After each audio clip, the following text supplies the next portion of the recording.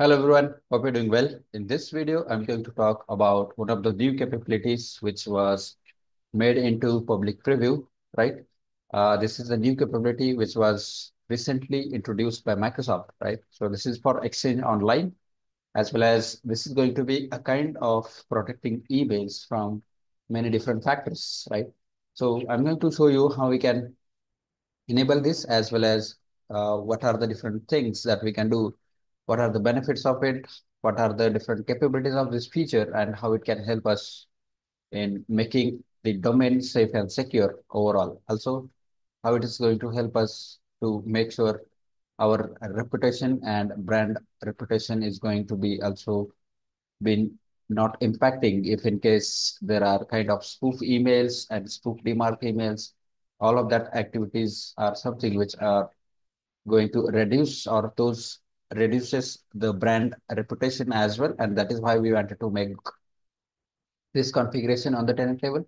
But currently it's in preview mode. So probably this is going to be tested thoroughly, all the different scenarios, all the different capabilities of it.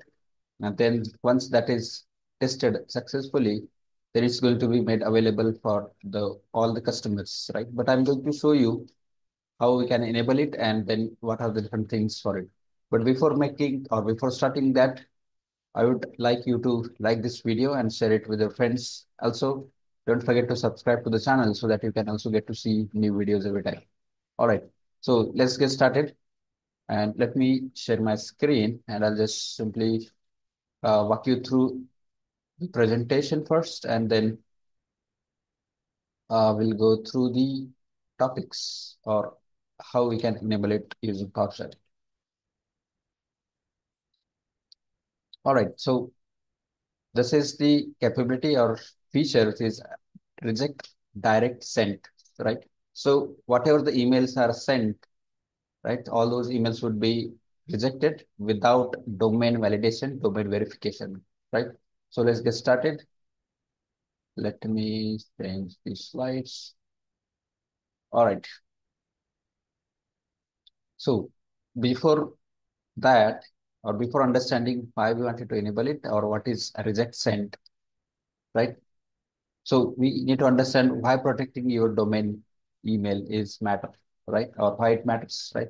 So whatever the applications or whatever the capabilities we are using, including devices, applications, third-party services, all those are sending emails using domain, right?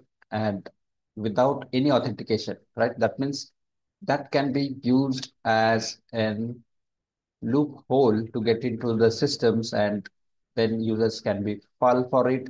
Then it could be phishing attack or any other attack. It is not only specific, but it could be anything, right? And bad actors can simply spoof the domain, which leads the spamming and security risk as well as reputational damage for, for whole organization as well as the brand reputation also damages right? So that is why this is also very important to know and understand why the email security is very important and why it matters, right? And that's why we have to take the appropriate steps to make sure it is going to be set up appropriately.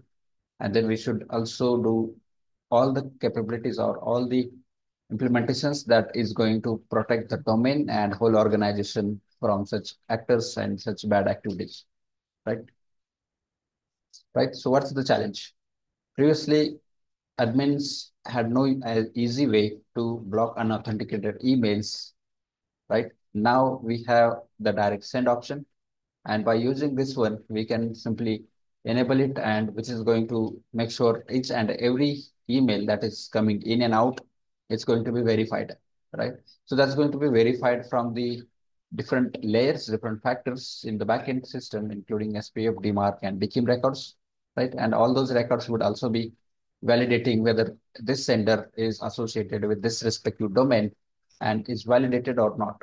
If it is found kind of suspicious or something like that, then it's going to be either taken actions basis on the filters, right? And then either it going it is going to be put into quarantine or maybe blocked and not delivered at all, right?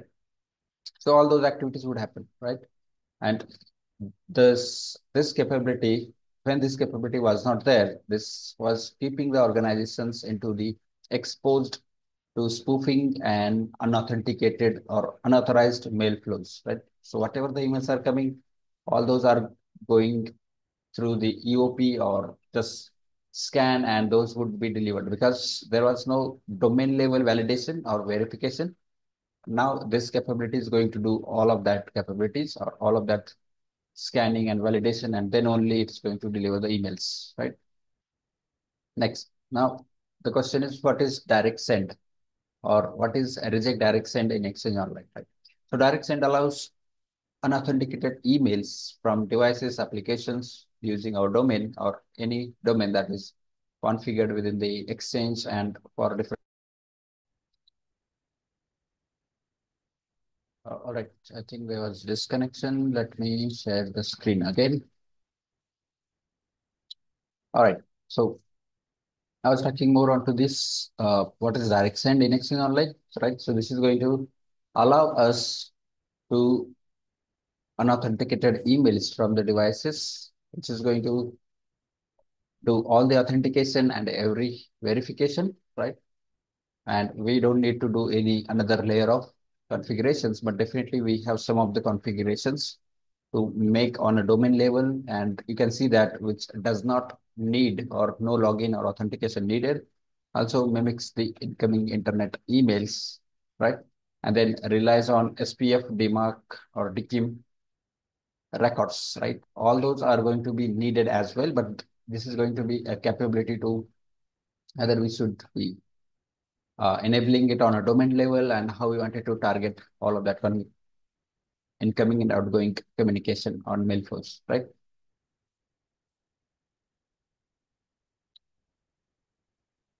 All right, so this is the feature which is reject direct send, right? So this is the new feature which is in public preview, which blocks anonymous emails from your domain, right? That means if the domain is not verified, authenticated, then it's going to simply be blocked. And that is why this feature is going to make sure that we need to make sure whatever the communication happening and is being validated with the respective domain, and then only it's going to allow that communication to happen, right? So it needs authenticated as well as connector verified verified email. Those are allowed to send in and out across the tenant, and it is going to simply allow it to send it both from both sides, right?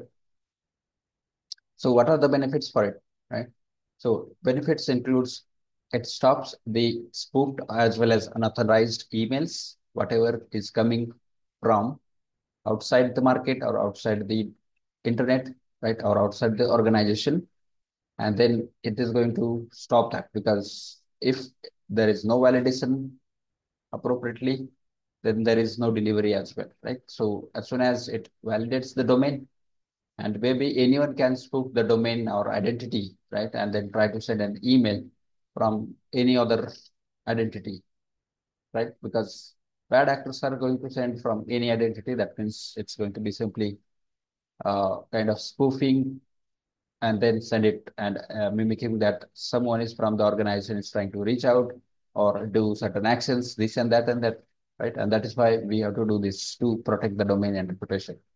Next is it is going to secure the mail flow as well because or whatever the emails are coming in and out, all those emails would be validated and then only those would be delivered once those are authenticated and validated. Otherwise, that or those emails or communication is not going to happen at all, which provides better control over the mailbox traffic, right? So what it means is that whatever the traffic is coming in and out, only the legitimate emails would be delivered to user's mailbox and not the false or fishy or spamming kind of emails would not be delivered at all. That is why it's going to be kind of easy way for that as well. Right. So now how we can enable this, right? So here are the commandlets and to connect with, we need to connect it to Exchange Online using PowerShell, right? And once we connect, we have the command which is set dash organization config. Then reject direct send is equal to true or is true. Once we do that, this is going to enable it that feature. And by default, this feature is turned off or set to false, right? And once we turn it on or turn it or set it to true, that means it's going to apply to the whole organization and it takes around 30 minutes for whole organizations to configure and enable it, right? So as soon as you enable it, it's going to be distributed across the tenant within 30 minutes and it's going to be up and running for the whole domain, right? And what happens if unauthorized emails are sent, right? So that's another question, right? If there is an any domain or any email which was sent and this feature was turned on and those emails are sent, but what happens to that or those emails, right? So those emails would be foiled, filled with the return this error, right? So this is going to be the error which says tenant inbound attribution direct send not allowed for this organization from unauthorized sources, right? So what does this mean is that it's going to validate on the domain level. And once the domain has verified that, okay, this domain is perfect and is correct one, then only allow the emails to be delivered. Otherwise, that email should be rejected from the edge of the connections or edge of the connection filters, right? It is not going to be going through all the uh, deliverables or um, or it is not going to hit the user's mailbox, right? At all. And this is going to send out that email notification saying that respective sender, this is not allowed with this specific error, right? So this is also very important to know and understand. Next, what are the important things to know, right? So it says legitimate senders must use partner connectors if in case we have something to make the business with or we have partnership with the different organizations or businesses, then we can make partner connectors and build that connection as well. And the communication should also work. Next is external forwarding without SRS may get blocked, right? So SRS is going to be also be blocked if in case there is no legitimate flows or legitimate connectivity between both of those domains, right? And then we should also review the mail flows before making sure or enabling this capability across the organization. For what? It is for all the different applications or systems which are sending in emails, for example, SMTP relays and all those kind of applications are sending emails, be it internally or externally, then we have to make sure all those are set up correctly, appropriately as well, so that mail flow is not going to be impacted at all. And we have to take that action beforehand as well, right? So now the final thoughts around it. So we can start with testing first by making sure this feature is going to be enabled. And then we can start with auditing senders, then set up the partner connectors for the partners and vendors and all those organizations which are doing business and working with our organization.